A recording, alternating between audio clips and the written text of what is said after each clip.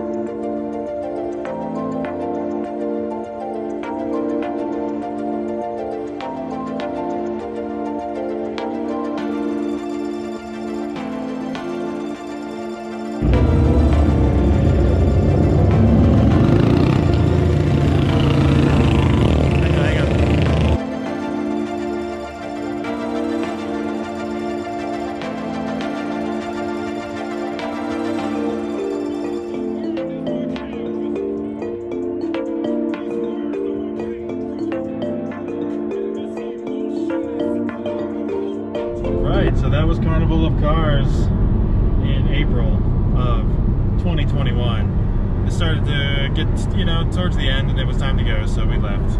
It's still early in the day. It's just, uh, actually it's just about to turn 3 o'clock in the afternoon. We're gonna head home and do some stuff. Uh, we got some projects we're working on at the house Yep. and we'll take care of that. Maybe you'll see that in a separate video. I don't know. We don't tend to video stuff around the house. But uh, it was a good day. Got to wear my my uh, long-lived DJ Pretzel shirt. You know, if, if you guys know Jimmy, DJ Pretzels is a really good dude, and he would have loved um, the event we had today. All right, I think that's it for this video. Until next time, keep right and pass on the left. Thanks. It's working. It's a